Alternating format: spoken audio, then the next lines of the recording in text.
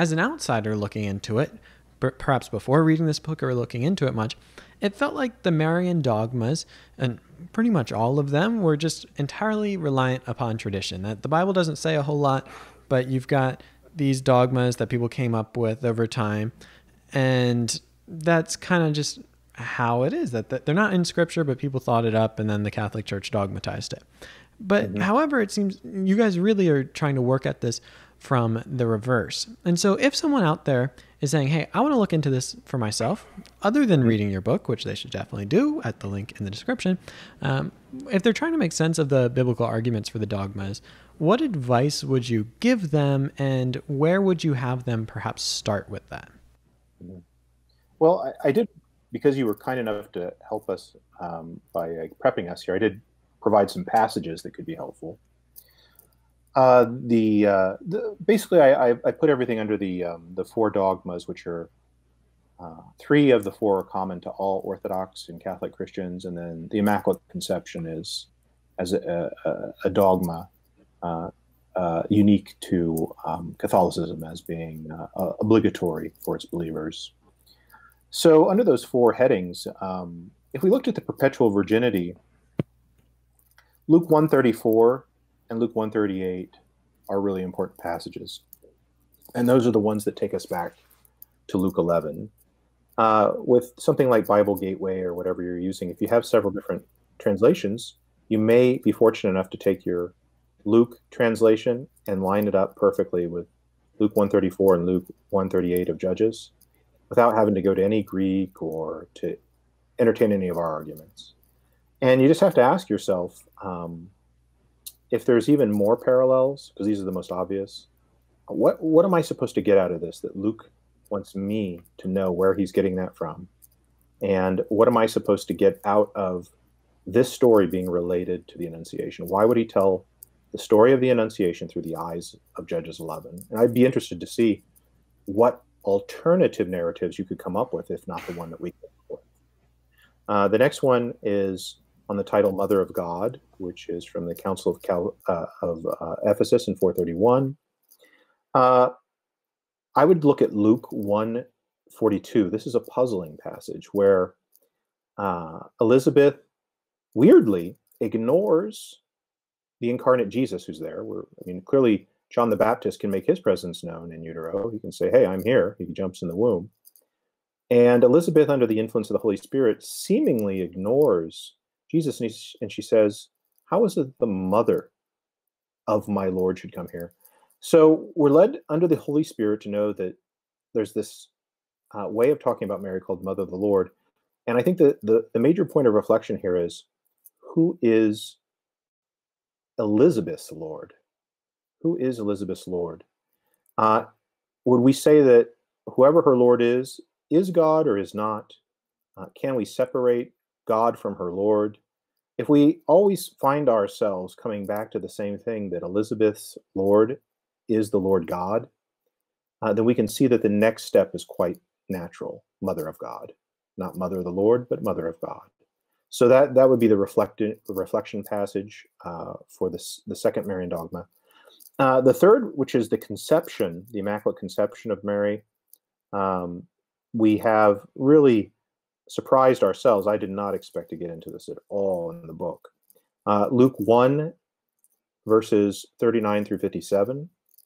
And the thing you want to concentrate on there is can you make sense if you have a good translation, which they're hard to come by? We were surprised how bad the translations are because of um, Reverend Dr. Brown and company being convinced that you can't read the past tense as a past tense. Uh, they all try to place it in the present present tense or in the perfect have eaten, have done instead of ate or did something a long time ago. Um, but if you have a if you have the past tense used there for the second and the third verbs in Mary's hymn, what does it mean that God a long time ago did great things for her sake, for her, uh, and the other things that Mary says about what God did for her? How do you know when those were? What were those things? Uh, if Mary told you at you know 12 years old that a long time ago god did these great things for me what are those things where do we get them uh, why does she refer to them like we should know or at least uh, she's under the inspiration of the Spirit to say them.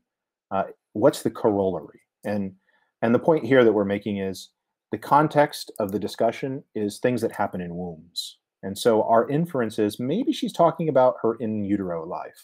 Maybe she's talking about her in utero life.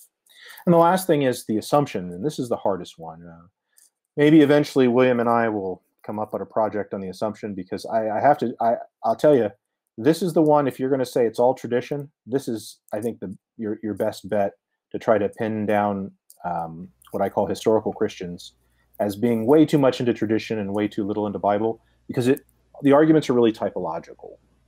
You have to argue first that Mary is the new ark, which I don't think is hard from our book, but just because she's new ark doesn't mean that she starts jetting up to heaven, uh, body and soul. Where do you get that from? And then uh, the next, the, the, the Old Testament passage, the chapter that's really important is 2 Samuel 6.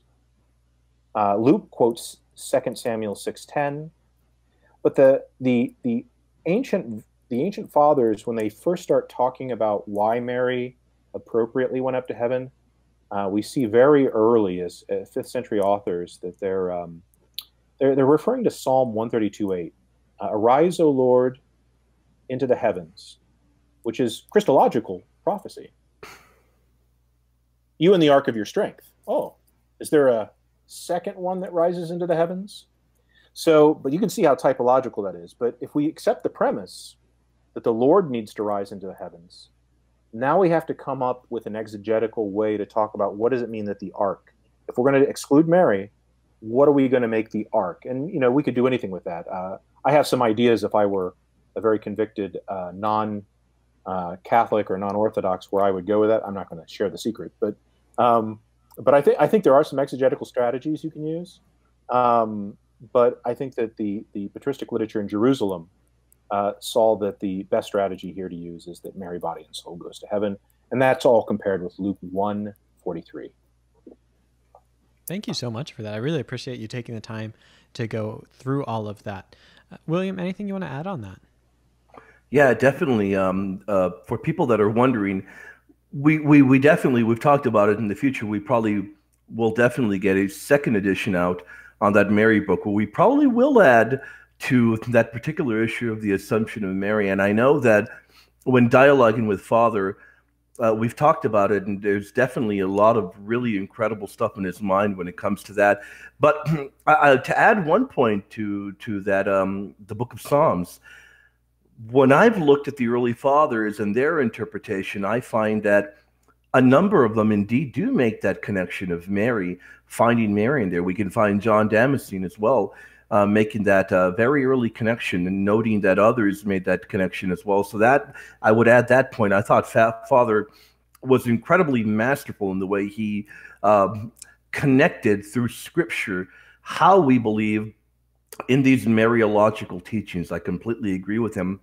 Uh, and I think that the one thing that I would add to that is each time ch- church gathered in council or when a dogmatic decree was laid down, the majority of the time was to attempt to squash a heresy, was not to create a dogma or to create something out of thin air.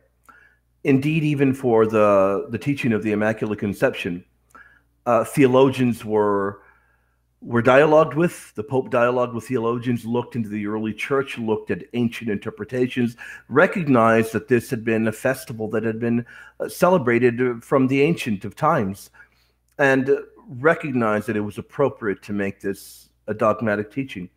So I would add that one point that never in time has the church ever gathered and made something a teaching that was not believed by the faithful in a massive way um, in the early church.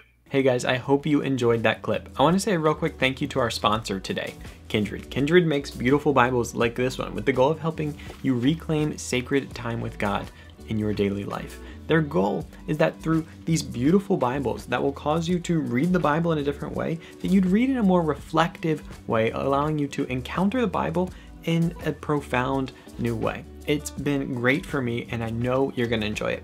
They've been kind enough to provide me with a promo code that you can use to get 10% off your order. So go ahead and go to kindredapostle.com and use the promo code GOSPEL10 for 10% off your order today.